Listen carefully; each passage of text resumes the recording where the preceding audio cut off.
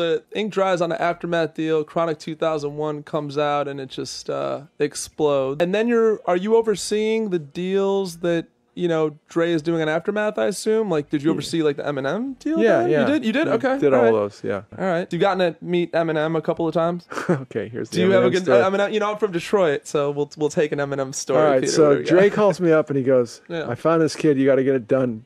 It's Tuesday. I said, it's got to be signed by Friday. We got to get this kid done. You know, Dre's got the great ear and he, he knew Eminem was the good. So he wanted it done before anybody else could get involved. And, you know, the other problem too is whenever Dre would be interested in people, other people would sign him anyway because it was Dre. And they go, well, if Dre's into it, it must be good. So we, we rushed the deal and we got it done. And I did You it with- avoided a bidding war though, just to, to- for the record. There was no. Yeah, no, Okay, it just right, got okay, done. I did the deal with Paul Rosenberg, Yep. who's the manager now, but was the lawyer then. So a few weeks later, I'm in a meeting over at the Interscope offices, and we're all in a meeting, and this guy puts his head in and says, "Hey, I'm here, Jimmy." And he goes, "Why don't you go wait in the other room and uh, and I'll see you in a second. I go, "What was that?" And he goes, "That's that's uh, Eminem." I go, "Oh, I just did this whole deal with him. I you know I was dealing with him. I never met him."